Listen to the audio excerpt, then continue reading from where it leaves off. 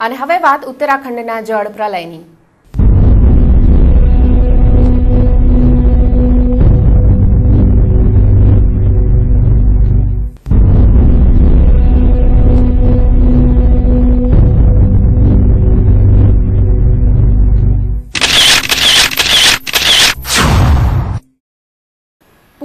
ઉત્તરાખંડમાં હર્સિલ બદ્રીનાથમાં હજુ પણ સાડા ત્રણ હજાર જેટલા યાત્રાળુઓ ફસાયેલા છે. તો આ તરફ કેદારનાથમાં તમામ યાત્રીઓને બચાવી લેવાયા બાદ સેના અને વિવિધ એજન્સીઓએ રાહત અને બચાવ કામગીરી બંધ કરી દીધી છે.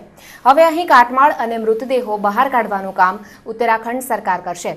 આ જળ પ્રલયમાં હજુ પણ ચારસો લોકોનો કશો પતો મળ્યો નથી અને તેઓ માર્યા ગયા હોવાનું મનાઈ રહ્યું છે. પૂરની આફત વચ્ચે ઉત્તરાખંડના પિથોરાગઢમાં આજે ત્રણ પોઈન્ટ પાંચની તીવ્રતાનો ભૂકંપનો આંચકો અનુભવાયો હતો. કેદારનાથમાં ઠેર ઠેર કાદવ કીચડમાં સેંકડો મૃતદેહો ફસાયેલા છે.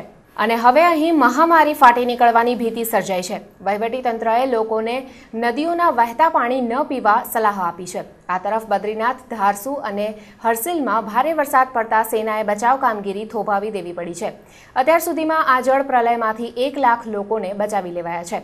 તો સાંજે જોશીમઠથી બદ્રીનાથ જતું વાયુસેનાનું વધુ એક હેલિકોપ્ટર દુર્ઘટનાગ્રસ્ત થયું હતું. આ હેલિકોપ્ટરનો દરવાજો તૂટી જતા પાયલોટે તેનું ઇમરજન્સી લેન્ડિંગ કર્યું હતું. સદભાગે આ દુર્ઘટનામાં કોઈના મોત થયા નથી. ઉત્તરાખંડમાં સમગ્ર દેશભરમાંથી રાહત સામગ્રી પહોંચી રહી છે. જો કે ઠેર ઠેર રસ્તાઓ તૂટી ગયા હોય, પૂરગ્રસ્ત વિસ્તારોમાં રાહત સામગ્રી પહોંચી શકી નથી. દરમિયાન દેશની નવ જાહેર ક્ષેત્રની કંપનીઓએ પૂરગ્રસ્ત વિસ્તારોમાં રાહત માટે પચીસ કરોડ રૂપિયાની સહાય આપવાની જાહેરાત કરી છે.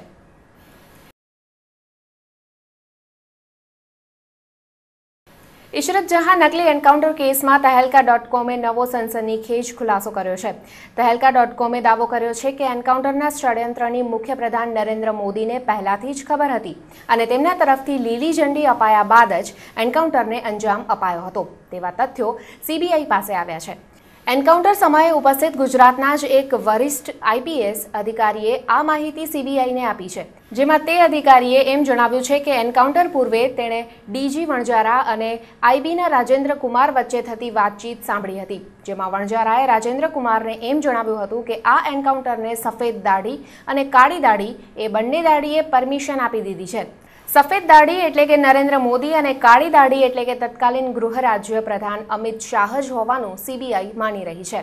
આ તરફ આઈબીના રાજેન્દ્ર કુમારની ધરપકડ માટે પીએમઓએ ક્લિયરન્સ આપી દીધું હોય ટૂંક સમયમાં જ તેની ધરપકડ થઈ શકે છે.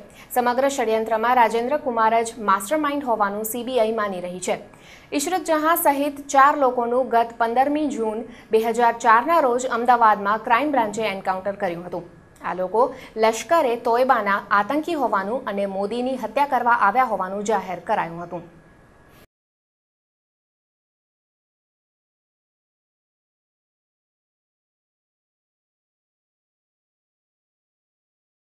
બુલેટિન પૂર્ણ કરતા પહેલા જોઈ લઈએ આજની હેડલાઇન્સ. અદાણીના સાથથી કંડલા પોર્ટે તુણા બાર્જ પોર્ટના નિર્માણમાં નેવે મૂક્યા છે નિયમો. કેન્દ્રીય સમિતિનો ઘટસ્ફોટ, રિપોર્ટ હાઈકોર્ટમાં. નિર્માણ કામગીરી પર સ્ટે આપવા માંગ. ભુજના નાગોરમાં દલિત દંપતીએ ગળે ફાંસો ખાઈ કર્યો આપઘાત. આપઘાતનું કારણ અકળ, દોઢ વર્ષની માસૂમ પુત્રી ઊંઘમાં જ થઈ ગઈ અનાથ. પૂર્વ કલેક્ટર પ્રદીપ શર્માને દોઢ વર્ષનો બાકી પગાર ચૂકવી આપવા સેન્ટ્રલ એડમિનિસ્ટ્રેટિવ ટ્રિબ્યુનલનો ગુજરાત સરકારને આદેશ. આદેશનો તત્કાળ અમલ કરવા તાકીદ. અબડાસાના નુંધાતળમાં ખનીજ ચોરોએ ગામનું તળાવ અને ગૌચર ખોદી, કરોડોનું બેન્ટોનાઇટ ખોદી નાખ્યું. પુસ્તકશાસ્ત્રની કચેરીની મિલીભગતનો આરોપ. કચેરી કહે છે, બધું નિયમસર છે. અને લંડનના ગોરાઓ અંગ્રેજીના મૂળિયા સંસ્કૃતમાં શોધે છે. લંડનની યુનિવર્સિટીમાં યોજાયો ખાસ સેમિનાર. સમગ્ર કાર્યમાં કચ્છી એનઆરઆઈ પણ છે સંકળાયેલા. તો આ હતા આજના કચ્છ ટીવી સમાચાર. ફરીથી ઉપસ્થિત થઈશું આવતીકાલે. Have a good night